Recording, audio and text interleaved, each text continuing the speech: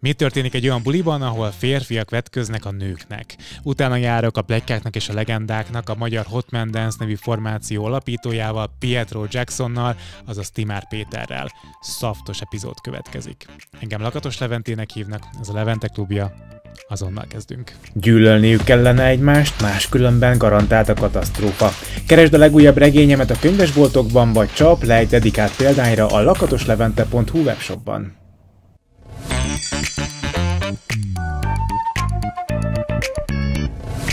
Szia, kedves Péter, vagy Pietro? Hogy hívjalak? Szia, Levi, köszönöm szépen a meghívást. Hát maradhatunk a Pietrónál, mert végül is ezt a Abban a minőségedben vagy itt, igen, nem, a, igen. nem a, a tervező minőségedben. Most nem a tervező, igen, most nem a tervező asztaltól jöttem el, úgyhogy, hanem a színpadtól. Igen, mert ugye te vagy a Hotman Dance, vagy Hotman Dance, ezt sem tudom eldönteni, mert Amerikában vagy Angliában vagyunk, ugye, igen. ahol úgy, úgy változik. Ugye amellett, hogy te alapítottad ezt a formációt, te egyébként civil munkában is jeleskedsz, tehát neked vannak diplomáid, nem tudom, ez mennyire elterjedt információ információ rólad a, a rajongóitok körében? Hát nem tudom, szerintem annyira nem elterjedt, reklámozni nem reklámozom, de igen, van egy... a diploma? Vagy miért nem ja, Nem, nem, nem, hát mert ugye a mi közönségünknek nem az a, nem az a lényeg. De, Szerint, most... szerintem egyébként de, tehát szerintem a nők azok szeretik az okos férfiakat. Persze, persze, nem, a, nem arra gondoltam, hanem magára, ugye amikor készítjük ezeket a tartalmakat, akkor nem feltétlenül, hogy ez egy percben, vagy ezekben a félperces kis videóban, amiket csinálunk, abban nem nagyon fér bele az, hogy, hogy most én arról beszéljek, hogy milyen diplomáim vannak. Ha... Kéne csinálni olyan műsort, amit ez a diplomás kalap, nem tudom, hogy hívják ezt, és akkor abból vetközöl. Igen. igen, gondolkodtunk is rajta, de egyébként ezt, ezt akkor most a tavaszi szezonra ezt össze is fogjuk hozni. High School Musical, Hot Man Dance, tudod?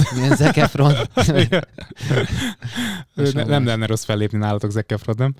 Hú, nagyon, nagyon jó lenne, nagyon jó lenne. Én, hmm. én egyébként nagyon szeretem az ő személyiségét is, meg egyébként a, a munkásságát is. Oké, okay, figyelj, beszélgessünk a diplomákról még egy pár szóban, ja. hogy mik is vannak, milyen, milyen végzettségeid vannak, és mi a te civil állásod.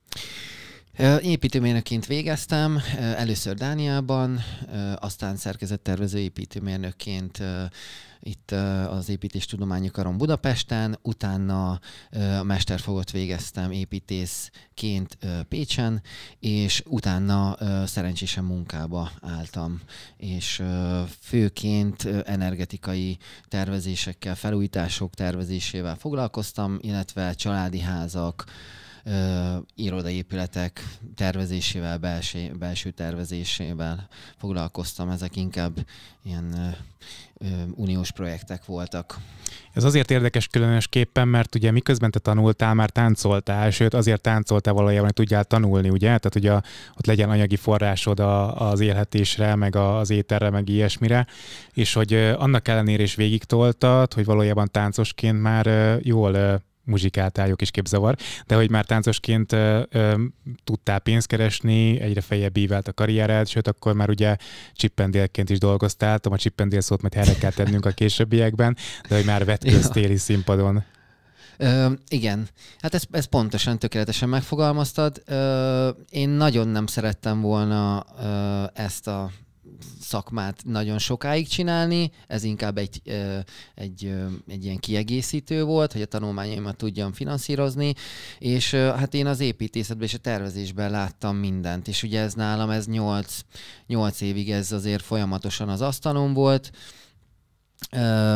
Hát igen, ott végül is miután realizáltam, hogy nem tudok anyagilag előrébb jutni tervezőként, mérnökként, így, így akkor léptem egyet, és akkor mondtam, hogy a, hogy akkor megmaradok táncosként, és párhuzamosan építettem a kettőt, tehát amíg bejártam dolgozni, hétvégente eljártam táncolni, és mondjuk munkaidő után pedig már elkezdtem a saját vállalkozásomat, hogy akkor hogy lesz csapat, hogy lesznek rendezvények, hogy kell ezt az egészet eladni, és akkor elkezdtem különböző tanfolyamokat nézni, YouTube-ról mindent egyébként meg tudtam tanulni, egyébként táncolni is a YouTube-ról tanultam meg, nem volt sok, nem volt sok pénzem, amikor felkerültem Pestre, úgyhogy nekem a YouTube azért elég sokat segített. Jó kis tutoriál videó a táncolásról, a, videók, a, a vetkőzésről, meg a hasonlókról. Fél nagyon sok kérdésem van, bocsánat, folytam a szót, de hogy sok kérdés felmerül bennem. Az egyik az, hogy mondod, hogy anyagilag nem jöttél ki úgy, ahogy te szerettél volna, hogy te azt eltervezted. De az én fejemben valahogy az él, hogy a mérnökök, meg, a, meg az épülettervezők rohadt jól keresnek. Ez egy téves információ? Igen, bizonyos, bizonyos év után igen. Egyébként pont tegnap beszéltem az egyik évfolyamtársammal, és ő ezt végigjárt, ő mai napig tervezés, hát nincs annyira megelégedve. Egy idő után nagyon monotonná válik ez a dolog, nagyon nagy felelősséggel jár, és én úgy tudom, hogy a mai napig nincs megfizetve. Én, én körülbelül ugye már négy éve nem foglalkozom ezzel. Haveroknak tervezek, Garást? Vagy... Garást, kisebb garázsokat, Aha. 10 négyzetméterrel alatt. Nem, családi házakat szoktam csinálni, hogyha az időm engedi, és hát ugye ismerősöknek engedélyköteles terveket szoktam csinálni. Uh-huh. Tehát körülbelül ebbe, is, ebbe kiismerül ez a dolog. De egyébként hát ugye kettő ok miatt kezdtem el ugye táncolni. Az egyik az, hogy ebből finanszíroztam a sulikat, a másik pedig az, hogy mindig is érdekelt ez a, ez, ez a tánc műfaj. Mikor lementem szórakozni, láttam, hogy akik tudnak táncolni, ugye, ugye a lányok sokkal jobban közelednek hozzájuk, szóval ez is egy kicsit úgy mérvadó volt, meg az, hogy az a, az a mozgáskultúra nekem annyira látványos volt, és annyira energikus és feltöltött energiával már csak a nézése, hogy, hogy alig vártam, hogy tényleg egy-két mozdulatot tanuljak, és akkor így jött a, a, ez a YouTube-os felület, hogy akkor onnan elkezdtem mondjuk Michael Jackson-t nézni, hogy hogy a francba csinálja azt, hogy előre lépked és hátra megy. Mondom, ez Jó ilyen nincs. Igen. És akkor hát azt egy röpke fél évig mire tanultam, mire le, leszettem ott. És két megfelelő patok kell hozzá megfelelő cipővel, és akkor fog működni. Igen, ó, hát odáig még az első jutottam, de igen. Ha. Figyelj, azt mondtad ugye, hogy tulajdonképpen, hogy hát ezek alapján arra következtetek, hogy te ránk készültél a táncolásra, tehát hogy, hogy pénzt tudják keresni pluszban, és nem is az volt, hogy te gyerekkorod óta táncoltál, és akkor ezt kiteljesítetted a, a színpadon, hanem hogy, hogy kvázi szükséged volt a pénzre, fiatal voltál, meggondolatlan szükséged volt a pénzre, és ezért kezdtél el e, táncolni. Rögtön egyébként a vetkőzéssel kezdted a, a táncos karrieredet, vagy volt másfajta tánc, amit csináltál? Nem, nem, nem, abszolút nem akartam ezt a úgymond vetkőzős táncot csinálni. Én elején, eleinte gogó táncot csináltam, ez diszkókban felállsz egy kis pultra, és akkor ott egy ilyen kis díszítő elemként. Pont az előző epizódban Jamina, aki szintén eh, diszkóban Igen, táncolt, kikérte magának, hogy gogótáncos lett volna, úgyhogy ez most tökéletes ezt mondott, hogy gogótáncos voltál. Dolgoztatok együtt? Igen, Aha. dolgoztunk együtt. Te azt mondtál, hogy gogótáncos nem táncos, szerinte. Ö, hát ez most már azért vegyült. Tehát a gogó táncos az, hogyha csak gogót, vagy hát nem tudom, hogyha csak gogó táncos, akkor, akkor igen, mert nem csinál koreográfiát, improvizatív jelleggel hmm. dobálja a karját, lábát, szóval oké, ezt nem szoktuk táncosnak nevezni, de én például már úgy, én ezt egy ilyen gyakorlós munkának képzettem, hogy otthon megcsináltam ugye a koreókat, és akkor én azokat kezdtem el gyakorolni a szórakozó helyen, mert Na nem jó, volt de máshol. Egy fiúgógó táncos, ő is egy kisgatyában táncol, nem? Nem. Kisgatyában nem táncoltam soha a gogót. A tangában? Min, min, tangában meg abszolút nem. Köszönöm. Tangában sose táncoltam. Mindig egy hosszú nadrág volt rajtam, és mindig valamilyen karaktert próbáltam ölteni. Tehát vagy nem tudom, vagy rendőr voltam, vagy katona, vagy tűzoltó. Hát akkor még ugye ezek mentek, már volt ugye tíz éve. Úgyhogy meg különböző kiegészítők. Tehát, hogy csak félmeztelen, félmeztelen voltam, és akkor különböző kiegészítők. Sapka, szemüveg, kis kötöző, kis és hát nagy nadrág, hosszú nadrág. Nem kis nadrág, sem Nem kis nadrág. Értem, igen. és így ennyi volt a, a gugós. És nagyon sokan kérleltek, hogy kezdjem el ezt csinálni, mert ez nekem nagyon jól menne. De én nagyon izgulós voltam, egyrészt, másrészt meg nem akartam, nem akartam ezt a vetkőzős dolgot csinálni semmiféleképpen. Aztán a suli nagyon beindult, és utána mondták, hogy ez sokkal időigényesebb. Tehát egy ilyen műsor 15 perc, a gogó meg ö, este 8-tól hajnal 4-ig, szóval ott egész este ott. Kevesebb idő, több pénz. Igen, és akkor így az üzleti részét nézve, kevesebb idő, több pénz, több idő maradt tanulni, hát akkor jó, hát akkor csináljuk, de nagyon top secretben. És akkor hát az első műsora, hónapokat készültem, meg éveket izgultam már. De miért izgultál, majd lekerül a gatya? Tehát azért izgultál, hogy pucéran látnak a színpadon? Ne, vagy nem voltál pucér? Nem, nem, pucér nem voltam soha. Akkor mitől izgultál? Hát a, attól, hogy egyrészt nem tudtam táncolni, és ugye oda meg úgy hívtak, hogy akkor itt nagyon komoly produkciót fognak látni, amiért fizetnek az emberek. És mondom, oké, és ezt tőlem akarják, ez biztos, mert sem múltam, se semmi, de ugye a szervezők toltak, hogy, hogy de jó leszel, mert hogy kinézetre jó vagy, meg hogy akkor vannak jelmezeid, oké, okay, van, van egy koncepció, amely alapján tudsz műsort csinálni, van agyad, megcsinálod. Két hónap múlva akkor meg volt az első fellépés. Hát ez, a, szerintem az első fellépésére mindenki emlékszik, én is elég kellemetlen volt nekem, illetve a, főleg az, hogy nagyon izgultam, nem akartam kimenni, úgy löktek ki, hogy oké, okay, menjél, mert rengetegen vannak, és akkor hát tényleg ilyen gyerekes zavaromban mindent elfelejtettem. Két hónapig csináltam azt a 15 perces koreográfiát, és ahogy kiment, kimentem, így mindent elfelejtettem. De hogy figyelje, a gatya soha nem került le?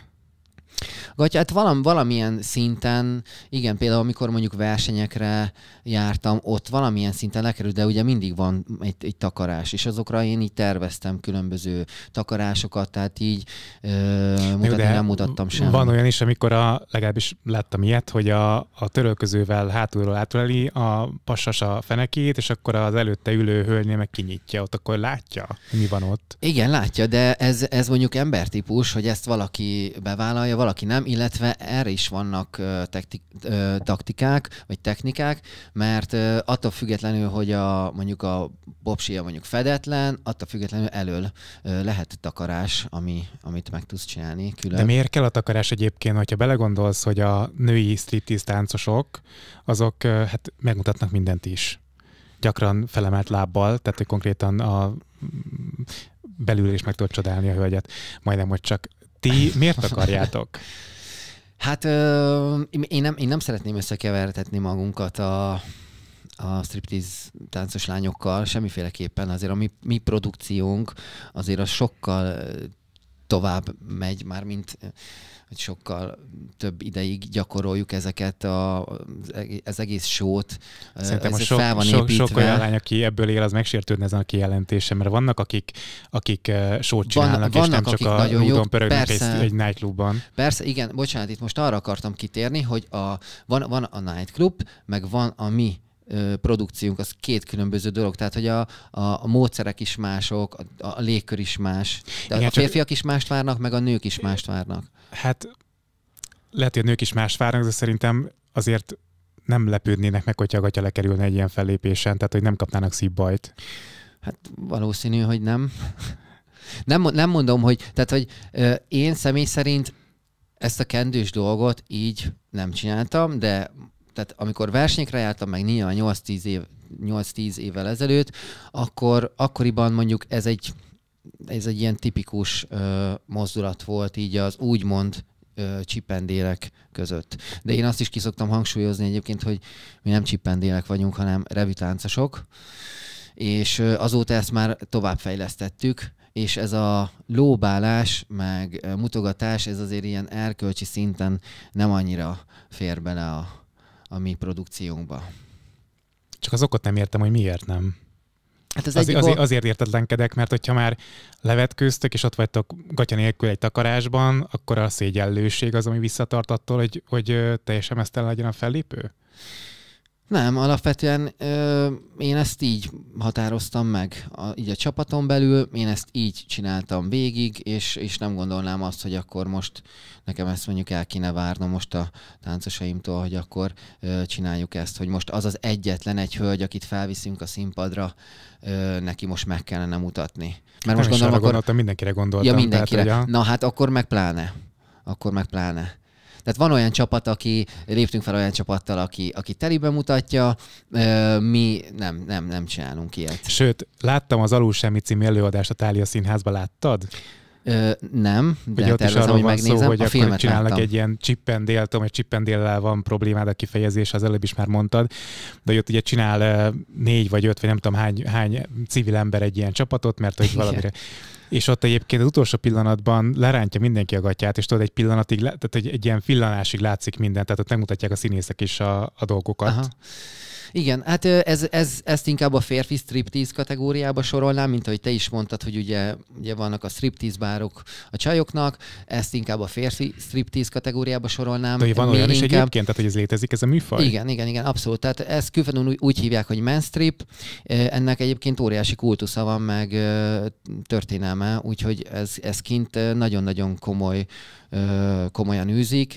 Itthon Itthon én ezt ö, nem is akartam, nem is csináltam, és akkor így próbáltam egy olyan utat ö, kitaposni, ami, ami inkább ilyen revitánc műfajhoz kapcsolódó, picit finom, de azért szoktunk durvulni is, oda basszunk azért az előadáson, de, Na, de, de- de, de, de, de. a, Mondasz jókat, hogy bocsánat, közben szakítalak, de érdekel. Tehát az egyik, hogy ti vagytok az előjáték a Pettings, és ott megálltok a történettel. Egyrészt, a másik az, hogy hogyha azt mondod, hogy nem mutattok meg dolgokat, mivel basztak oda? Tehát, hogy mi, mi az, ami, mi az, ami hát ilyen ele, eleve van, meglepő, hogyha a hölgyek számára a lényeget nem mutatjátok meg. Igen, a hölgyeknél szerintem nem, nem, az a leg, nem az a legfontosabb, hogy most a végén eljutunk oda, hogy akkor mindent megmutatunk. Szerintem azzal elrontanánk az előadást. Mindenkinek a, a fantáziára bízzuk, hazamegy, vagy gondolkodik rajta, vagy nem. Azt nem mondtam egyébként, hogy nem sejtetjük. Tehát vannak dolgok, ami, amivel azért úgy sejtetett, hogy nyilván felveszel egy feszesebb boxeralsót, akkor azért már átlátszik, főleg, hogyha fehér, főleg, hogyha van egy zuhanyzós műsor, akkor azért ott, ott azért már lehet sejteni, hogy mi van ott, de, de alapvetően ez eddig megáll a vetkőzés szinten. Amivel odabasszunk, az inkább a kontaktelemek, a, az emelések, a táncmozdulatok. Tehát nagyon sok lánynak egy, egy, egy finom mozdulat és egy, egy jó test, finom mozdulat, egy sármos karakter, és akkor az már azért elég. Egyébként vannak, akiknek már az is durva, amit mi csinálunk az előadáson, és mondjuk ritka eset, hál' Istennek, de, de van, aki azt mondja, hogy ez durva, és akkor a félidőbe kisétál a, a színházból. De mire számított, mire megy el? Hát érted? igen, ezt én is megkérdezném tőlük. Mi zajlik egy ilyen versenyen? Tehát, ott az van, hogy vannak különböző csapatok, fiúk, akik így egymás után állnak színpadra, és van egy zsűri, aki díjazza őket, vagy van közönség, aki szavaz, vagy hogyan zajlik egy ilyen verseny? Van szólóverseny, és van csapatos verseny.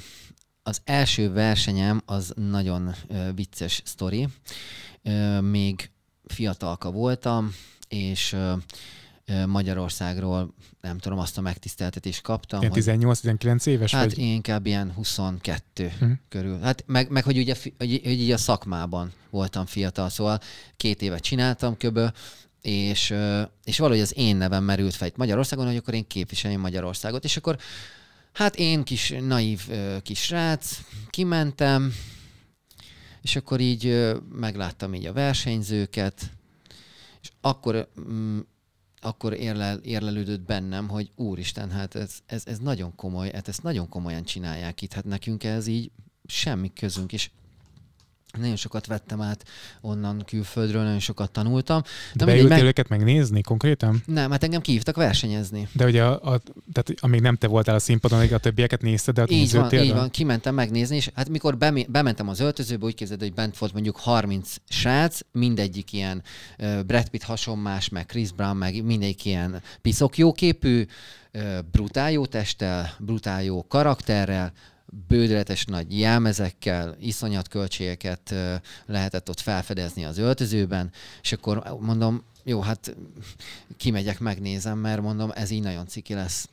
Kimentem, és akkor ezek a versenyek úgy zajlottak, hogy kiment a srác, mondjuk kiment egy ilyen rohamosztagos jelmezbe, ami már magában látványos volt, ez a Star Wars-os cucc, és nagy só, nagy Nekem mondjuk fények. ez nevetséges, de Nagy, igen. igen, jó, igen, hát jó, tíz évvel ezelőtt még Aha. még vicces volt, vagyis hát még nekem, nekem komolynak számított, amikor így bekerültem, és lenyomott egy brutál komoly táncot, aztán olyan teste volt, hogy valami brutál, egyből néztem, hogy hogy hány, hány év egy ilyen testet összerakni. Volt egy, volt egy Chris Brown hasonmás, aki komplett ilyen Chris Brown sót lenyomott, táncolt, úgy nézett ki, magas, 190, izomálat, jó kisugárzás, tánc, ének, levetkőzött, azt kicsapta a 30 centist, akkor így néztem, hogy basszus, hova kerültem. De várj, akkor ez egy ilyen férfi striptease ez, ez volt, rendesen... ez nem volt külön szedve ez a verseny? Tehát nem, nem volt... ez a férfi striptease az ugye ez a, ez a kategória. De volt külön kategória. Igen. Mi most ugye revitáncot csináljuk, ami egy kicsit visszafogottabb verzió, hát mondjuk ennél mondjuk akkor úgy mondom, hogy azért jóval visszafogottabb, és akkor szembesültem ezzel, hogy hát ez, ez nem biztos, hogy az én műfajom. De csak a 30 me... centi miatt mi? É, csak a 30 centi Zavarba miatt. és aztán hátra mentem, összeszedtem magam, most mondom, jó, akkor tökös leszek, megcsinálom, végigcsinálom, kimentem a kis 20 ezer forintos ázsiás öltönyömbe, aztán lenyomtam a, a műsort, Egyébként de, de, milyen, de milyen kategóriában nyomtad le a műsort? Most már ez érdekel? Tehát, hogy ez is férfi striptease volt? Tehát... Nem, hát én, én, én alsógatják, de az alsógatjám is meg volt tervezve. Tehát, hogy nem ez a... Elefántor. Under... Igen, tehát egy nagyon kis szexi box, boxer alsót terveztettem, és ezt levartam, és én abba csináltam elég sokszor a műsort, hogy azért nem, nem nagyon szeretném azért ezeket így mutogatni, a férfiasságon pláne, de mondom, viszek egy jó testet, egy jó táncot, egy jó karaktert, és akkor tetszik, tetszik, akinek nem, nem. Végül is egyébként elég nagy tapsot kaptam, úgyhogy meg voltam elégedve, de egyébként olyan motivációt kaptam, ettől, hogy a srácok ezt ilyen komolyan veszik, hogy én amikor hazajöttem, nekem ez, a, nekem ez lett így a, a motivációm, hogy, hogy akkor ú, ezt lehet fejleszteni, akkor itt, itt lehet nagy műsorokat csinálni, Természetesen kiveszem ezeket a, a fütyi, fütyilóbáló dolgokat. Hát volt olyan kétszeres világbajnok rúttáncos, aki először lenyomott egy, egy rúttáncot, és utána lenyomta ugyanazt három lábbal. Akkor volt olyan, aki, aki brutál komoly breaktáncot nyomott, és akkor utána is három lábbal helikopterezett, szóval voltak ilyenek. Volt egy komoly sztorium, amikor azt mondtam, hogy oké, okay, no way, hazamegyek, ö, Olaszországban voltam, egy hasonló versenyem. Ö, én voltam az egyetlen fehér srác, és ö, hát ott is nagyon kemény srácok voltak, nagyon jó produkcióval, ö, de ott volt olyan, aki kicsapta a 30 centis, ráhúzta a tejszínabot, és akkor így körbe ment és végig kínálta, és akkor mondtam, hogy jó, akkor ez nem, a, nem az én stílusom lesz. De és, és én, hogy, de, én hogy, ott haza is De jöttem. hogy kapó kap, tehát kaptak rá a nézők? Tehát, hogy ott a, a közönség hát, tagjai azok hát, ezt díjazták ezt a Most szomorúságomra vagy boldogságomra kaptak, igen. Aha. Kaptak. És én, és amit így az interjú elején elmondtam, hogy én nem is szeretném, hogy ez így, ez így ilyen idáig elfajuljon, még akkor sem, hogyha, hogyha tényleg ilyen Mert brutális. nem fog, tehát nem fog durvulni a műfaj, mert ugye a világ is durvul, és a világ is azért egyre bevállalósabb. Szerintem én azt már nem fogom megélni. Mivel van beleszólásom, lassan most már ebbe a műfajba, mert egyébként tök jó, hogy így követnek külföldi csapatok is, meg már egy nagyon ö, szűk mesdje ez a dolog, tehát így már tényleg Los Angeles-től ö, Ausztrálián keresztül mindenhol ezek a csapatok azért egy kontaktban vannak, ö, ott azért figyeljük egymást, megbeszéljük, hogy mi meddig ö, tud elmenni, és, és akkor mi ezeket így kitaláljuk Jó, és visszük. Tételezzük fel, hogy most akár most, vagy már korábban valaki kedvet kapott ahhoz, hogy csináljon egy hasonló csapatot. És mondjuk ők elmennek ebbe az irányba, ahol tejszínhabot lehet nyalogatni a, a bulizó becsicsentett, vagy jól berúgott közönségnek a nemi szervükről, akkor te mit csinálsz? És mondjuk az, az akkor népszerűségnek örvend, hogy mondjuk elvesz a piacból egy nagy részes, részesedést. Hát ezért van több vállalkozásom, és akkor így átsétálok a másikba. Ja, te bebiztosítottad magadat? Én bebiztosítottam, igen, igen, igen, igen. A fiúkat hogyan válogatod össze? Tehát, hogy mondjuk van méretcasting, vagy ilyesmi? hogy úgy, úgy látszódjon át a fehér alsón a drágon, vagy, vagy, vagy ezt nem, nem veszed figyelembe? nem, nem, azért odáig nem, nem fajul el a dolog. Hogyha egyébként ezt a mutogatós dologra visszatérve, hogyha van, van olyan srác, és van olyan produkció, amiben ezt bele lehet építeni, és még azt mondom, hogy oké, okay, ez még átmegy, súrolja a határokat, akkor azt mondom, hogy nincs probléma, de, de nem erre épül a vannak egyébként, tehát hogy ők erre kap, kaphatóak, vagy van, aki azt mondja, hogy ezt semmiképpen nem vállalja, vagy nem csinálja nem, meg? Ö, ez vegyes. Ez vegyes. Valaki azt mondta, hogy á, figyelj, menjen, nagy van, ezért csináljuk. A régebbi srácokkal meg már ugye kialakult ez a, ez a módszer, ez a munkamorál, ami, amivel ugye dolgozunk már 8-10 éve, úgyhogy ez, ez nagyon fel se szokott, fel se szokott merülni ez a dolog. Szóval a fiúkat hogyan válogatod össze? Mert ezt olvastam, hogy időben csak diplomás fiúkkal dolgoztál együtt, ugye a diplomára visszatérve. Igen, az egy reklámfogás volt úgymond, mert van ez a rossz stereotípia, hogy mondjuk aki helyes, sármos, ki van gyúrva, akkor az, az, az, az buta, és, És akkor, bűnöző. És bűnöző, főleg még tetovált is, akkor Takard el gyorsan. direkt ilyen lenge pólóba jöttem. Semmilyen sztereotípiának ne tegyek eleget. És akkor ö, mindenki egyetemista volt a csapatban, hát mondom, akkor ez tök jó, hát akkor csak nem hülye gyerekek vannak, mindenki jól néz ki rajtam kívül, és akkor hát jó, akkor csináljuk ö, ezt a, ezt a megfogalmazást, és akkor így végül is ö, így kezdtük el az egészet marketingelni. Uh-huh. Hogy interjúkba is leadtuk, videókba is lehoztuk ezeket. Nem ez volt a fő, tehát hogy nem, nem ez volt az első mondat, hogy ú, hát akkor itt mindenki diplomás is, gyertek el, nézzetek meg, hanem mindig úgy picit ellegyintettük ezt a dolgot. A srácokat meg úgy válogatom ki egyébként, ö, én úgy szoktam fogalmazni, hogy ugye amit mit csinálunk, ez egy kicsit ö, komplex dolog, mert sokan azt mondják, hogy táncosok vagyunk, de én nem úgy szoktam fogalmazni, hogy táncosok vagyunk, hanem inkább előadók vagyunk. Mert nekünk a tánc része az csak egy bizonyos százalék, amit mi csinálunk. Nálunk kell tudni színészkedni, legyen valami speciális képesség, tudjon énekelni, vagy hasonlítson Van, aki valakire. énekel a fellépés közben? Valaki énekel, szokott Tényleg? Énekesünk lenni, ugyanúgy baromi jó testtel kell rendelkeznie, legyen sármos, legyen karakterek kisugárzása, egy bizonyos magasság azért jó, hát ezt ezt a lányok ezt ö, sérelmezik sokszor, hogy magas srácok kellenek a csapatban. Hát csak, csapatban. a, csak a nehéz egyébként a testfelépítés miatt ugye a magas fiúk azok sokkal nehezebben szednek magukra izmot. Igen, például, és akkor gondolod el, hogy még ezzel táncolni is kell. Tehát Mhm. magas is, nagy darab is, és még táncoljon is. Szóval nagyon-nagyon nehéz találni itthon ilyen srácot, hogyha már az egy-kettőnek megfelel, akkor a többit azt megtanítjuk.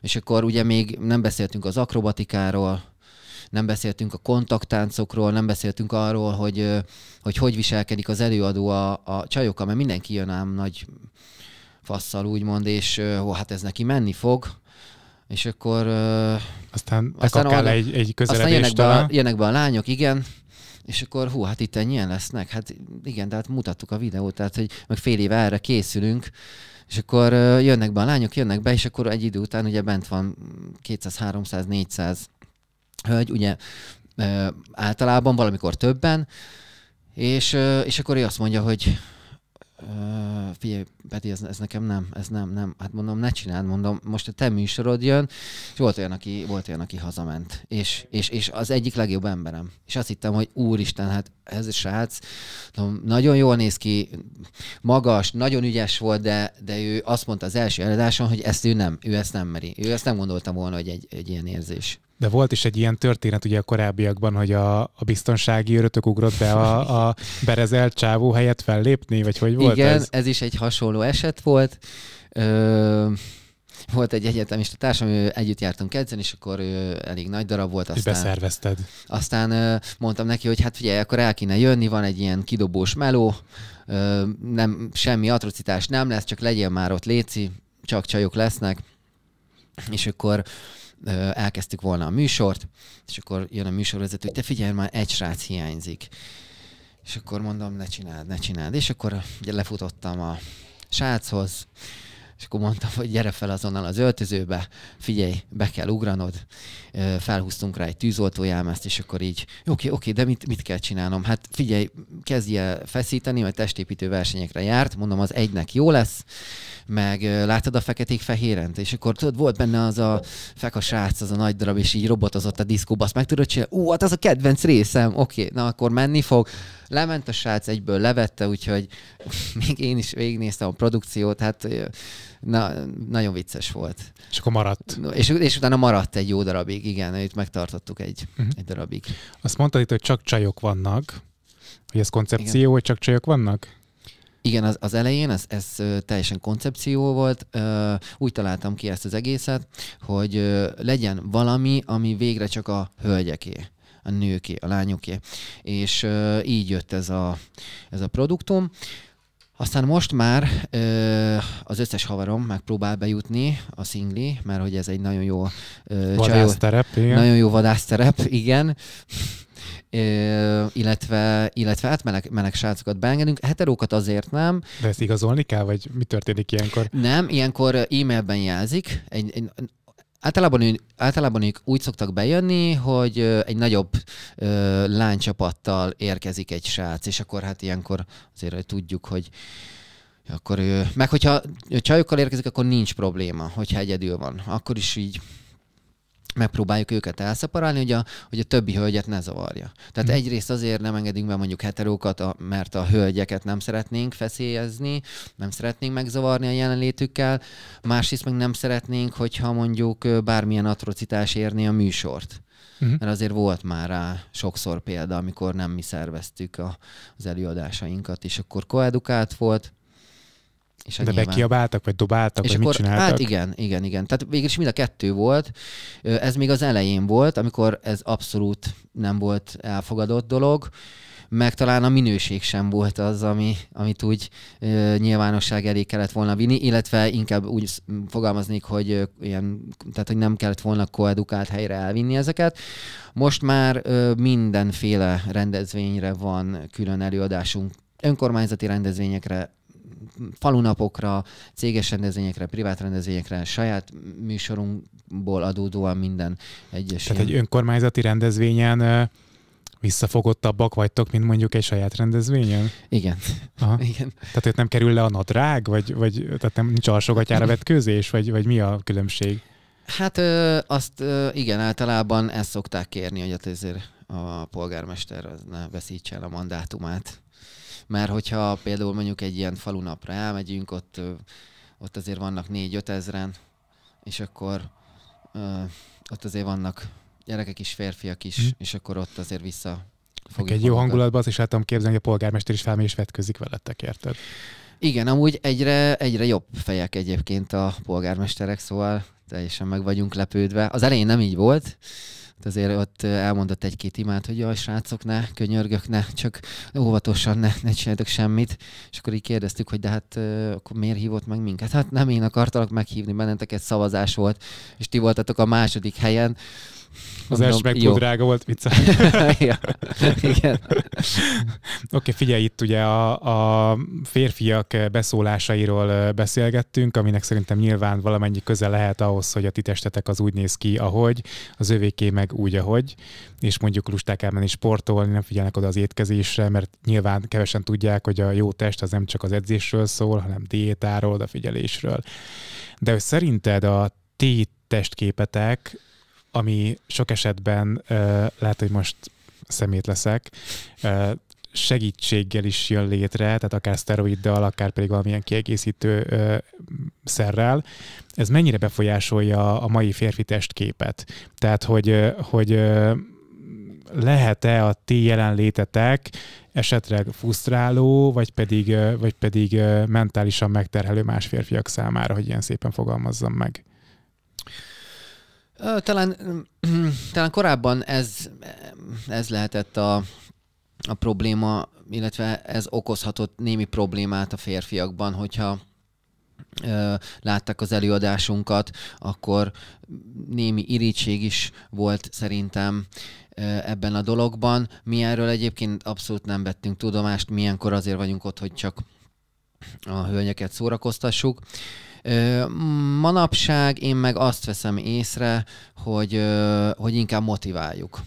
A, a mi testképünk nyír, nyír, tehát azért ja, más, mert ez, ez, csak, nekünk ez a munkához jár, szóval egy igen, picit csak jobban. az a bajom ezzel is, meg a testépítőkkel is például, tehát hogy látok testépítőket, és nyilván ti nem vagytok annyira kigyúrva, mint a testépítők, mert nem is tudnátok úgy táncolni, hogyha akkorák lennétek, mint a testépítők, de hogy van, vannak híres ebből élő emberek, akik ugye a testüket feltornázzák különböző szteroidokkal, és akkor kommunikáljuk, hogy ez a fehérje portól van nyilván, és, és sok fiatal fiú követi őket, és példa példaképként tekint rájuk, és hát rá kell jönni, hogy ez szer nélkül nem működik. Tehát nem lehet olyan formát elérni segítség nélkül, és sok fiú mondjuk ezért nyúl szteroidhoz, hogy, hogy még inkább hasonlítson az ő példaképére, és az ő testképe így torzul el, mint ahogy a nőknél például a plastikai sebészet az, ami ugye torzít a testképen.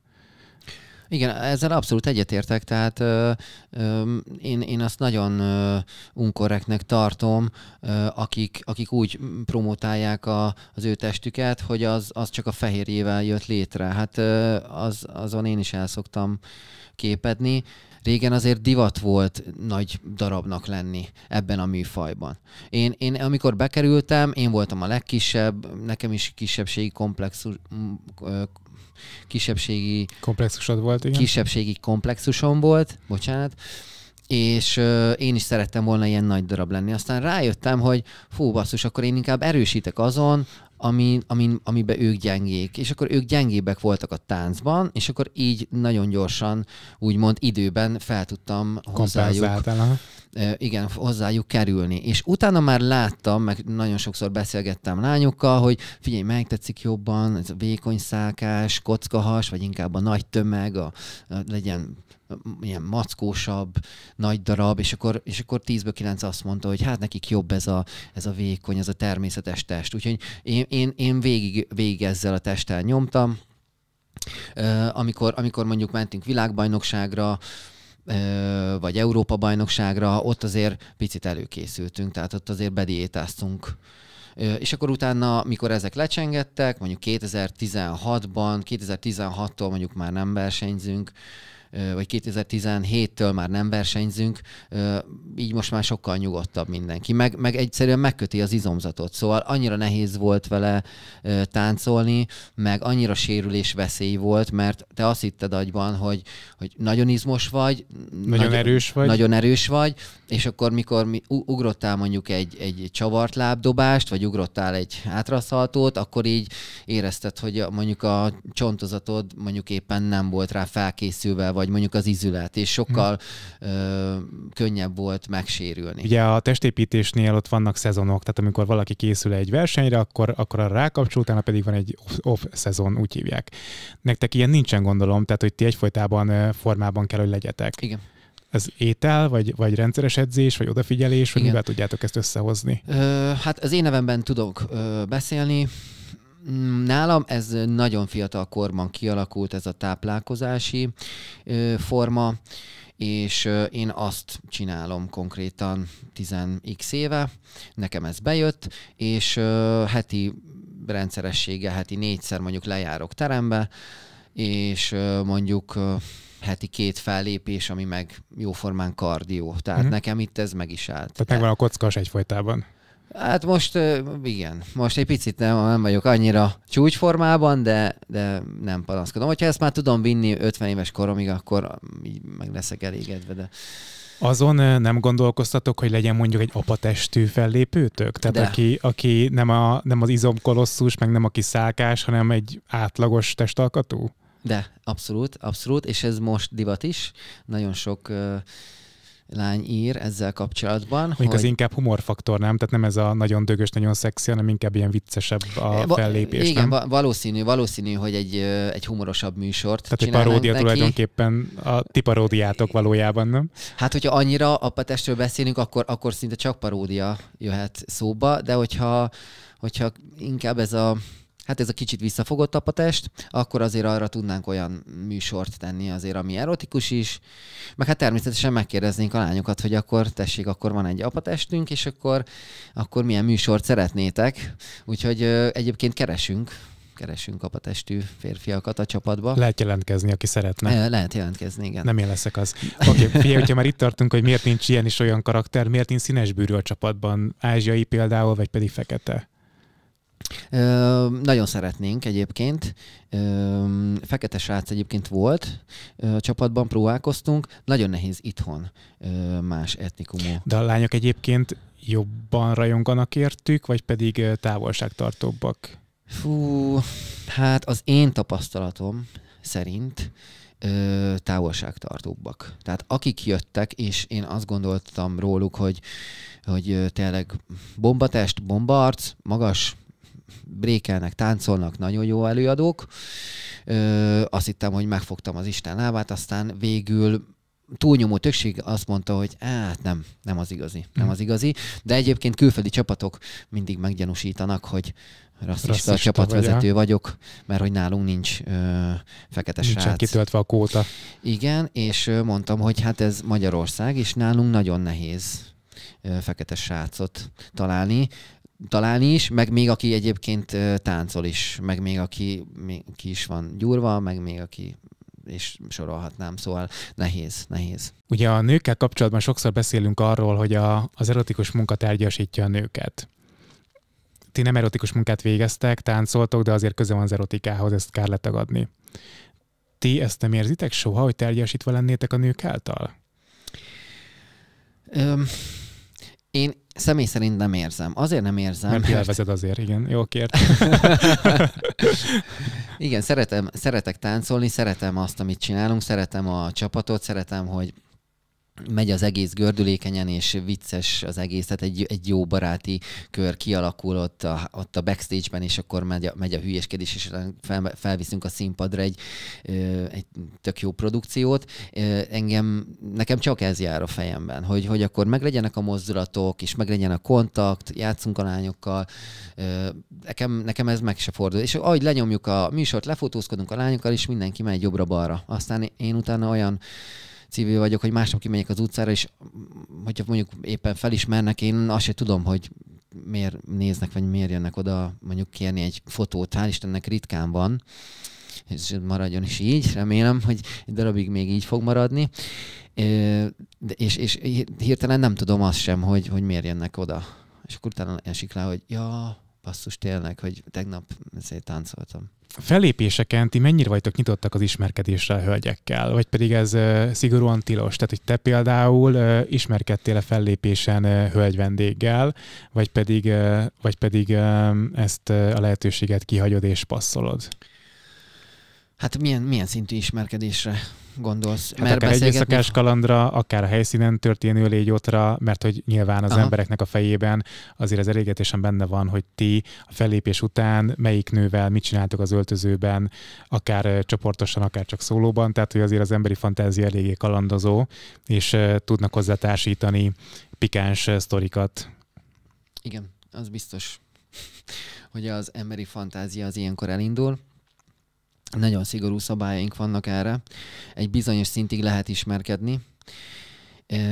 Ez a beszélgetésen is maximum a, a számcserén, de még számcsere sem nagyon lehet, max, hogyha... Egy Facebook jelölés. Egy Facebook jelölés, tehát hogy a telefont azt uh, nyilvánosság előtt el, elősebb vehetik a srácok. Mint ahogy más sem. Ö... Igen, mint ahogy más sem. Úgyhogy ez abszolút tabu. Az, hogy régebben, tehát az, hogy egyébként utána mit csinálnak, az, az engem nem érdekel, de ott a helyszínen ott semmi nem lehet. Tehát uh-huh. se csók, nem viheti hátra, nem. Például az, az, az is nagyon fontos, hogy mondjuk ne csak egy hölgye beszélgessen. Tehát amikor mondjuk még mondjuk véget ér az előadás, és mi utána maradunk egy picit fotózkodni. Konzumálni. Azt nem. Mindig ki akarsz térni ilyen huncut dolgokra, de konzumálni nem konzumálunk. Hát azért ez már súrolja a határát, igen.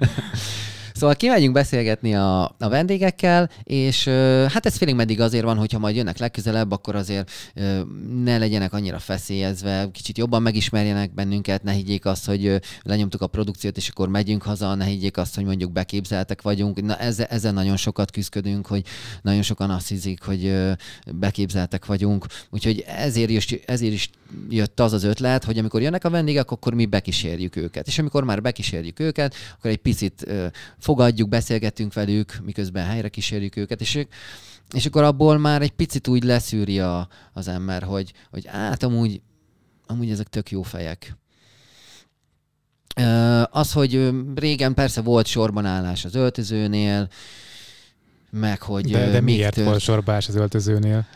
Hát még lassan öltöztünk, és egy, egy-két lány nem tudott várni a fotóz, fotózkodásra. Aha úgyhogy ők megtalálták az öltözőt elég hamar. És Jó, mi történik akkor, hogyha mondjuk egy hölgy pénzt kínál azért, hogy történjen a fiúval valami a műsor után?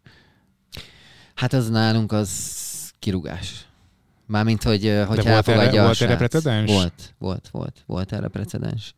Azt nem tudom, hogy végül megtörtént a dolog, de visszahallottam, a srác bevallotta, és akkor és akkor elbúcsúztunk egymástól. De ugyanez van, hogyha ingyen csinálja. Tehát, hogyha mondjuk elmegy egy privát rendezvényre, és, és megtudom, hogyha mondjuk ott valakivel a helyszínen történt egy kicsit komolyabb dolog, akkor főleg, hogyha mondjuk az ünnepeltel, az elég kellemetlen. A mennyasszonynal. A mennyasszonynal, mert hát volt, rá, volt erre is példa. Jó, térjünk ki mindjárt ezekre a kül- külön privát partikra, de hogy még először mennyire gyakori egyébként, hogy ajánlanak pénzt a fiúknak azért, hogy a műsor után történjen bármi?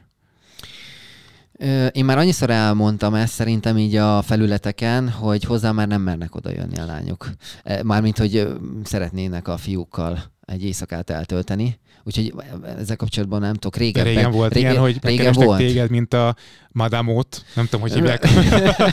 Strici így hívják, igen. Azt, szóval, hogy téged megkerestek, és, és ajánlkoztak, hogy akkor, vagy kérték, hogy hozd össze a fiúval?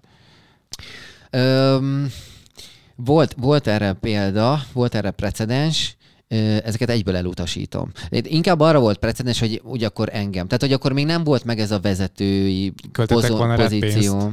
Hát volt olyan, képzeld el, hogy, hogy, Hát én is megdöbbentem, hogy biztos, hogy engem szeretne. De, rá, nem kérdezem, hogy mennyi lenne az? Tehát, hogy csak egy érdeklődés szempontjából mennyibe kerülnél? Hát ez esélytelen, esélytelen. Egyrészt, fú, egyrészt, hát most ez kicsit furcsán fog hangzani, és biztos beleköz, de azért erkölcsös srác vagyok. Meg én így de lettem csak bele. nézi a beszélgetést, csak azért mondod Igen, szívanya. szóval, hogy téged teljesen... akartak, igen, el, el, megfizetni. Igen, hát erre mondjuk volt, volt pár precedens, de nem, nem, nem vállaltam el. Tehát volt olyan, aki azt mondta, hogy általában burkolnak, hogy kísérjem el mondjuk egy esküvőre, és akkor mond, hogy 3000 euróig ment fel az ár. Aha. És ez 8 éve volt. De hát no, esélytelen. Bejött az öltözőbe, a főnök, egy, volt egy ilyen külsős fellépésünk, és akkor ö, a tulaj beengedte a hölgyet, mert ismerős volt, és akkor így a hölgy ez nem, nem, nem, nem packázott. Aha. Hát amúgy a csajokat nem kell félteni. Szóval... Hát az biztos. Csak arra vagyok kíváncsi tudod, hogy mennyire jellemző az, hogy a nők is fizetnének szexért, mert általában ezt a férfiak azt Igen, igen, igen. Egyébként nem, egyébként nem jellemző. Szóval amikor elkezdtem, én azt hittem, hogy több ilyen megkeresés lesz. De, Reménykedtél. De, de ne, Reménykedtem, hogy több ilyen megkeresés lesz, de de sajnos nem. Uh-huh. Sajnos nem. Térjünk át a privát partikra, mert ugye nektek van kvázi egy saját helyetek, ahol van időről időre egy fellépés sorozat, ez egy több órás projekt, ugye, a, a ti sótok, de ezeken kívül a fiúk vállalnak privát partikat is, ahol ugye nem vagy te ott, mint őrszám, hogy figyelt, hogy mi történik a, a helyszínen. Igen. Ráadásul, hogy tudom, ebből voltak vicces pillanatok is, mert hogy máshol kopogtattak be a fiúk, vagy éppen te is azt hiszem abban benne voltál abban a bénázó csoportban, arra, aki, aki máshol kopogtatott be. Na szóval, hogy az ilyen eseteknél mennyire gyakori, hogy a, hogy a, akár a lánybúcson a menyasszony, vagy valamelyik, valamelyik ott lévő hölgy, vagy egy születésnapon az ünnepelt, vagy valamelyik vendég bepróbálkozik a fiúnál, és, és mennyire gyakori, hogy ez, ez be is teljesül. Igen, sajnos nem vagyok ott. És ez, ezeket a szabályokat is azért hoztuk, mert ugye korábban ebből voltak problémáink, és nem akartam azt, hogy a, a csapat névegyére, uh, névegyére ez, ez, ez rárakja a pecsétet. De ezt tudják egyébként a, a meghívók, hogy ott nincsen erre lehetőség, hogy a dolog az elfajuljon? Igen, tudják. Tehát ez tájékoztatott őket erről? Igen, igen, igen, abszolút, abszolút. De volt, aki mondjuk ezért visszamondta, hogy akkor bocs nem? Volt egyébként. Ja. Volt, volt. Hát meg valaki konkrétan megírja, hogy ő, ő, ő bulizni szeretné a srácot, és akkor kifizeti az egész estét, de hogy akkor ők, van egy csapatlány, és akkor ott akkor ők ott buliznának. Hát aztán gondolom, hogy általában a buli az még beszokott torkolni, főleg ezek a házi bulik, úgyhogy ezeket ö, mi nem erőltetjük, uh-huh. legalábbis én csapatszinten nem adom ehhez a nevemet sem semmilyen szinten. Korábban voltak ebből problémák, Hát figyelj, szerintem 10-ből, 10-ből 5. Tehát ugye a fele, fele, mm, fele így, így el, el lehetett volna vinni, vagy hogy mondjam. Uh-huh. Tehát, hogy lehetett volna valami. Ö, aztán hát ugye ebből ki, ebből tehát ebből volt olyan, hogy tényleg lett is valami, és ez visszajutott a fülembe, leültem a srác, és mondtam, hogy tehát ez, és ez egyik legjobb emberem volt. Sőt, kettő legjobb emberemet mondjuk így veszítettem el. Uh-huh. Hogy ezt ő megcsinálta egy privát bulin, és visszajutott a fülembe. Egyébként nem lett volna nagy probléma, mert nem jut el senkihez, de aztán, hogyha ebből rendszer csinálunk, tehát hogy ez nincs elnyomva már az elején, akkor utána itt megint kezdetét veszi a bulizás, akkor a csajozás, és a produkció már abszolút nem engedhető ez meg, mert ott hát meg, meg ez valójában prostitúció, tehát hogy, hogyha valaki elmegy pénzért, és ott egyébként szexel ugyanazért a pénzért, hogyha, hogyha, hogyha fámból akkor is valójában ez azért már érinti a, a dolgot.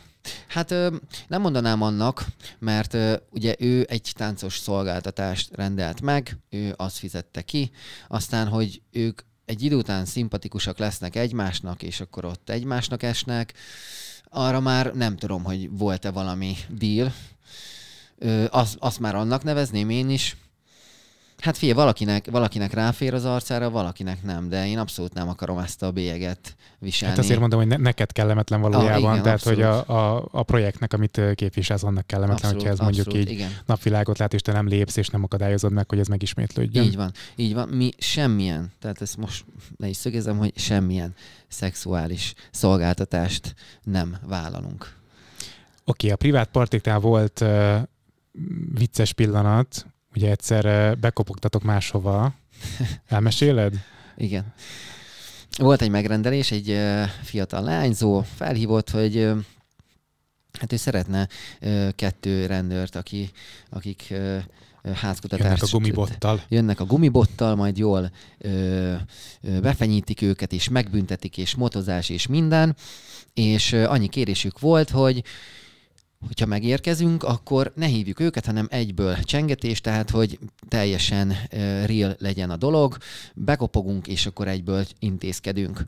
Na hát ez meg is történt, be is kopogtunk, megérkeztünk a helyszíne, bekopogtunk, és kinyitotta egy, egy aranyos kis mamóka az ajtót. És akkor így hát egymásra néztünk a haverommal, hogy akkor most hirtelen mi legyen. Én megmondtam, hát jó, csináljuk, csináljuk azt, itt, azt hittem, hogy hirtelen, hogy a mamájának kis meglepetés. Kis, kis meglepi.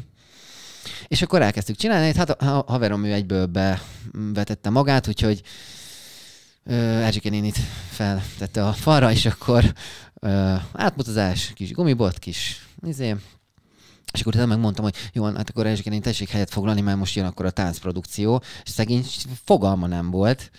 Mi de, meg hagy, vég... de hagyta. De, de hagyta, tetszett neki szemmel láthatólag. Mi teljesen abban a tudatban voltunk, hogy ő, ő erről így tud, és már leesett neki. Úgyhogy mi teljes bedobással lenyomtuk a táncos prodot, és akkor így hát mondtam, hogy akkor az anyagiakat ugye kellene rendezni, és akkor így nézett rám, boci szemekkel, hogy de hát ő, ő, ő, ő nem, nem rendelt ilyet, meg hogy akkor nekem így hirtelen összeállt a kép, kimentem, láttam már volt nem fogadott hívásom, a lányzó hívott, és akkor hívom, és akkor szia, szia, szia, sziasztok, sziasztok, merre vagytok? És akkor nézem, hát itt vagyunk a 27 ánál. Jó, jó, jó, akkor gyertek már át a 27B-be, mert itt vagyunk, és már várunk rátok. És haverom még ben volt a lakásba, kinéz, fej, én meg így, bocsi, ez az... Csokolom. Csok- csokolom, finom volt a kókuszgolyó. Tehát volt egy ingyen tánc. De igen, ez nem a leggazdag, leggazdaságosabb este volt, úgyhogy utána jót nevettünk, de hát ott azért a srácnak az arcát azért azt lehetett volna látni, hogy nem volt a legboldogabb. De ebbe a rendőrszerkóból azért gyakran kerekedik eh, félreértés, nem? mindig, mindig. Mondjak még egy-két sztorit hát arra? Vagy kíváncsi, jó? Volt egy másik rendőrös sztori, hasonló volt a szitu, ketten érkeztünk, csendháborítást kellett szintén lebonyolítanunk, itt az volt a probléma, hogy mikor megérkeztünk a társasházban, a lakásokból már kint volt az összes szomszéd. És vártak már minket, hogy de jó, hogy megérkeztek végre hát a, a biztos urak. Igen, vár, igen, bocsánat, a rendőröket várták, és mondták, hogy hát akkor intézkedjünk azonnal, mert ezek a lányok, ezek nagyon hangosak. Tehát ők effektív kívták a tényleges, a, a valódi rendőröket, és akkor így gondolkoztunk a srác a haverommal, hogy akkor most mit csináljunk? Lenyomjuk gyorsan, vagy hát akkor ebből balhi lesz, mert hogyha kijönnek az igazi rendőrök, akkor minket is elvisznek, akkor minket is megmozoznak, az nem lesz jó. Igen. Az azért annyira nem tetszene. Úgyhogy hát ott akkor komolyra fogtuk a dolgot, és akkor jó estét kívánok, igen, azonnal intézkedünk. Egyébként az nem nagyon esett le nekik, hogy amerikai rendőrruhában voltunk, mert akkor már cseréltük a magyart, Aha. már volt, volt eBay, meg volt varrónő, meg mit tudom én, úgyhogy ez, ez nem nagyon tűnt fel, hogy teljes fekete szedbe, mondjuk jelvény az oké, okay, meg így oké, okay, gumiból, ilyesmi fel voltunk szerelkezve. Jó, bekopogunk, és egyből teljesen komolyan, azonnal halkítsák le a zenét, mindenki jön ide, igazoltatás, szemigazolvány, lakcímkártyát mindenki vegy elő, és a lánynak az a ledöbbenés az arcán, úgyhogy kb. egy perccel előtte beszéltünk, hogy itt vagyunk, és megyünk fel, jó, jó, gyertek. Ő, ő teljesen azt hitte, hogy akkor most itt az igazi rendőrök vannak, mögöttünk a szomszéduk, tudod, majd, majd igen, majd most megkapjátok. Hát mi meg ott a gumibottal kicsit bentebb mentünk, így próbáltam belökni a csajokat, hogy menjünk bentebb, hogy majd az ajtót majd be tudjuk csukni. És akkor így elkezdtük őket motozni, és akkor így mondtam, hogy na jó, basszátok fel a hangerőt, és akkor becsuktam az ajtót, Toljuk gyorsan, mindenki, mi? mindenki nézett nagy kerek szemekkel, lenyomtuk a sót, gyorsan összepakoltunk, nagyon siettünk, hogy ne találkozunk. Hát végig azért a fejünkbe, hogy vajon mikor csengetnek az igazi rendőrök, az igen. igazi rendőrök, úgyhogy ö, végül egyébként, amikor lementünk, akkor mindenki, hát ugye hallották a sikolyokat, meg hogy ott azért pif-puf, csicsa, dirdur. Ö, kimentünk, és akkor ö, hát mindenki így ez a tátott szájjal nem tudták, hogy mi folyik. Hát egy idősebb közönséget Aha. is kaptunk ott a helyszínen. Gyertek hozzánk is, nem? És valaki. nem, ott nem az volt, ez a vérben forgó szemek, és lent lesétáltunk a, a lépcsőn, és lent a bejáratnál ott már jöttek a rendőrök. Ugye mi nyitottunk nekik ajtót, és jó estét biztos úr, és jó estét van, valami probléma? Nincs, nincs, nincs, úgyhogy szálltunk be a kocsiba, és jöttek az igazi rendőrök. Nem tudom, mit nézhettek a csajok, amikor bekopogtak ők is. Ráadás. Tudod, igen, egy ráadás, és akkor műsor. Jucika, kettőt rendelte? Nagyon jó vagy. és akkor lehet, hogy rájuk repültek. Zseniális. Egyébként mennyire jellemzően az egyenruha izgatja a közönséget? Hát legtöbb, legtöbbször az, és ez így produkcionálisan ez így eléggé bántó már nekem, mert vannak új ötleteim, és nem, ö, hát nem mindig jön be annyira, mint mondjuk egy ilyen rendőrös produkció. Nem, nem egyszerűen ö, tíz éve nem tudjuk levenni ezt a palettáról. Mindig megújítjuk, mindig új koreót csinálunk, mindig egyre erősebb ez a, ez a produkció, de, ez, ö, de ezek a ö, ez a három műszak, ez, ez, ez nagyon megy. Rendőr, tűzoltó, katona, ezekkel tudnak azonosulni. Meg hát ugye ez ugye a mindennapi életben is úgy ö, találkoznak ezzel a, a csajok. Meg ugye általában az... A legelterjedtebb, legáltalánosabb fétis szerintem Igen, igen, igen, igen, erre próbáltam célozni. Meg általában ugye a, a, a közönség hangerein is lehet hallani, hogy, hogy amikor egy ismert karaktert viszünk a színpadra, akkor már tudják. Tehát, hogyha egy filmszereplő, vagy egy filmből veszünk ki sztorit, akkor, akkor már tudják, hogy mire fognak, vagy mire számítsanak. És akkor az bennük is egy megnyugvás. Mert legtöbbször, aki el, először lejön, az teljesen vakon van, és feszélyez vérzi magát, és akkor, jaj, hova hoztál? Én ide nem akartam ide jönni, aztán legközelebb meg már ugye ő hozza a barátnőjét, hál' Istennek tetszik a műsor, nem is tudom, hogy volt-e olyan, aki csak egyszer volt a műsor. Rájönnek, hogy nem haraptok, kivéve, ha kérik.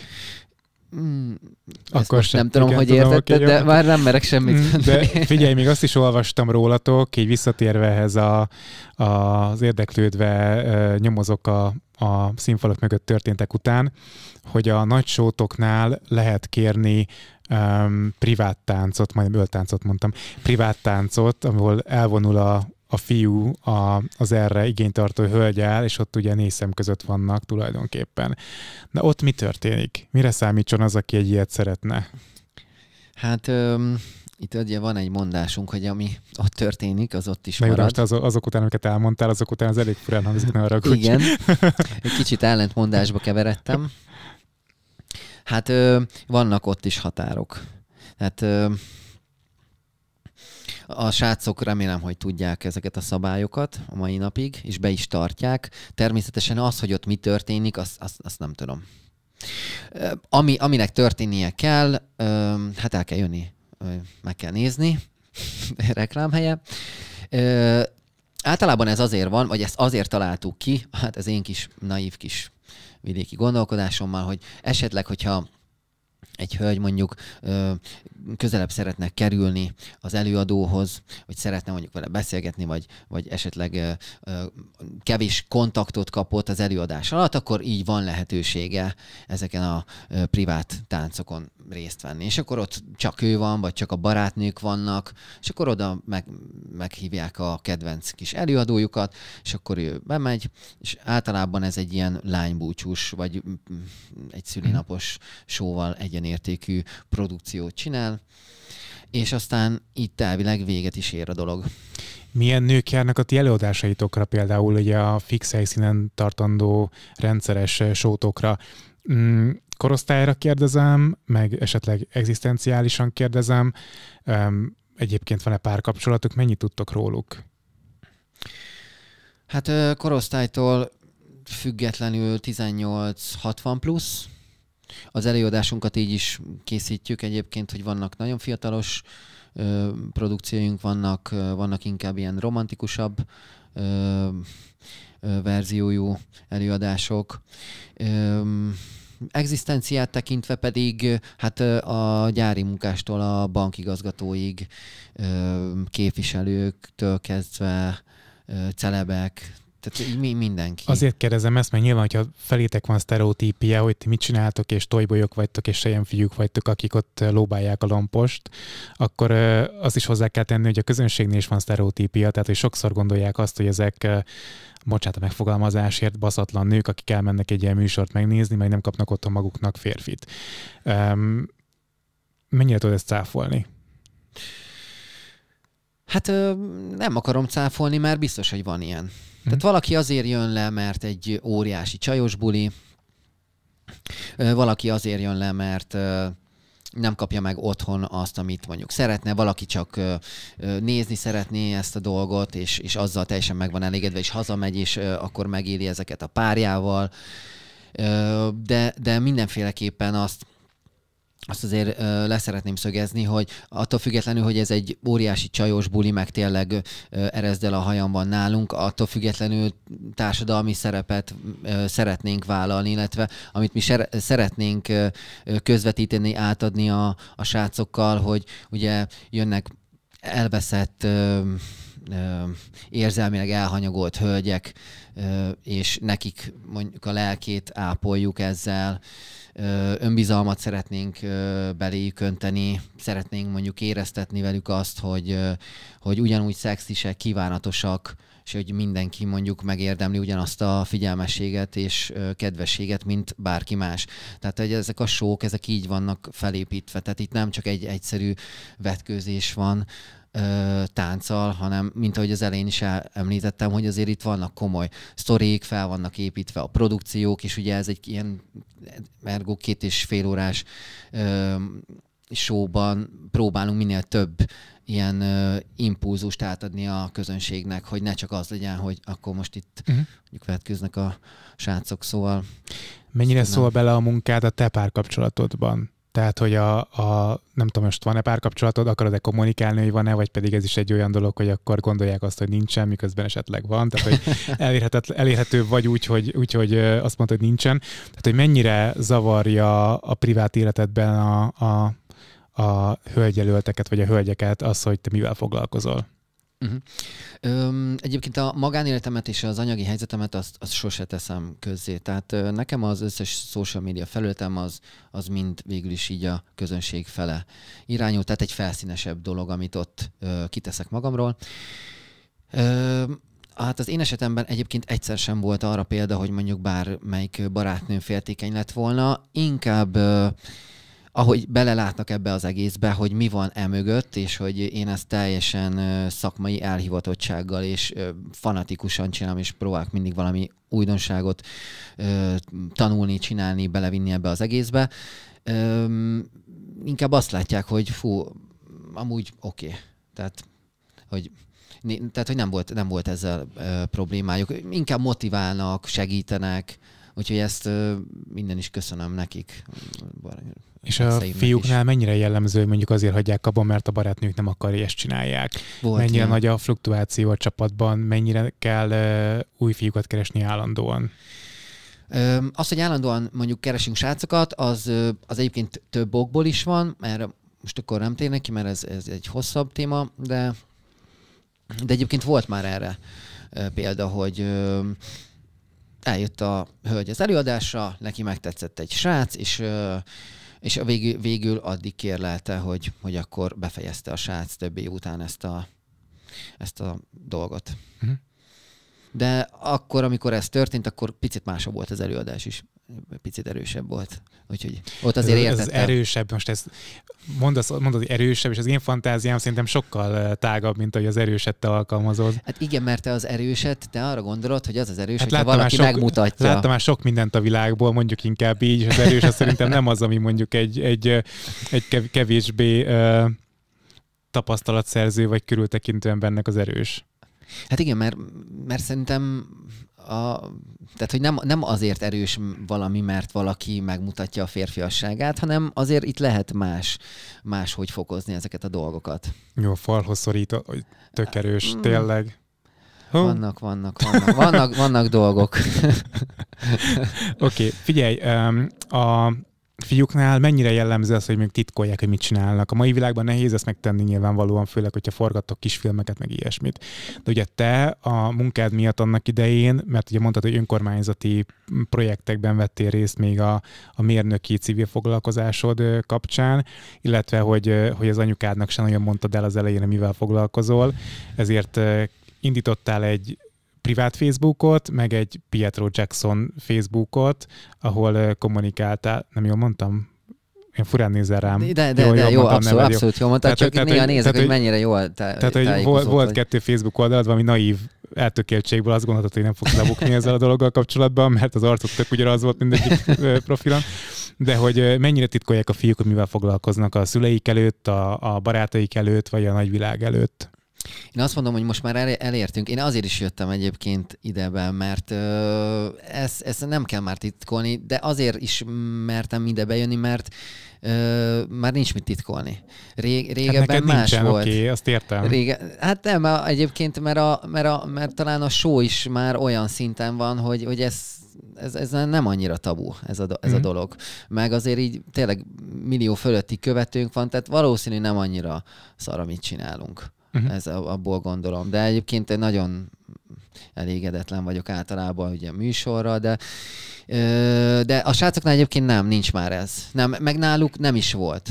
Tehát ő, ők, ők nem, nem élték át azt a kezdeti szakaszt, amit, amit én. Ők már egyből abba jöttek, hogy itt mondjuk szabályok voltak, volt strukturális felépítése a sónak, volt egy időpont, amikor meg, meg kellett érkezni, tehát teljes, teljesen egy olyan keretszerkezetbe érkeztek, ahol már, már, már teljesen ilyen munkamorál tudott működni, és nem az volt, mint nálam, hogy jössz, jössz, ha nem, nem jössz, meg most mm. mit kell csinálni, nem mindegy, csinálj valamit. Tehát szóval meg voltak teremtve az alapok tulajdonképpen. Igen, igen, igen. A legfontosabb kérdés nagyon végére. Mit szóltak a szüleid ahhoz, hogy ezzel foglalkozol? hát a szüleim egyébként ö, viccesek, mert ö, anyum teljesen ellentétje apumnak. Apum, ő ez a lazább, vicces, mindenki nevet rajta, ö, anyum meg a komoly tanárnéni. De mind a ketten tanárok, nem? Nem, nem. Ö, apum nem, ö, apum sofőr, ö, és anyum tanár. És hát többnyire ezért is nem mondtam el neki, meg hát ugye a tanár gyereknek mindig vagy orvos, vagy mérnök, vagy ügyvédnek kell lenni, tehát hogy ezt De így hoztam. teljesítetted, igen, ezt, ezt teljesítettem. mondani. Miután teljesítettem így a harmadikat is, és akkor így letettem az asztalra, anyu, Hát figyelj, el kell mondanom valamit. igen. És meg, akkor most hát jöjjön ugye, a fekete leves. Egyébként lehet, hogy nem tudta volna meg, mert hát persze egy idő után megtudta volna, csak ugye pont akkor nyertem uh, világbajnokságot, és kijött a fókusz, és utána ú, eszembe jutott, hogy ezt, ezt le is fogják adni. Úgyhogy ö, gyorsan haza siettem, és ö, elmondtam neki. Még aztán... a fókusz előtt gyorsan megtudja. De még igen, szó szerint, mert egy, egy kikötése volt, hogy mert ugye modellkedtem is, meg voltam reklámban, és már attól is ki volt, egy sima reklám szerepléstől. Mutogatja mert, hogy, magát a fiú.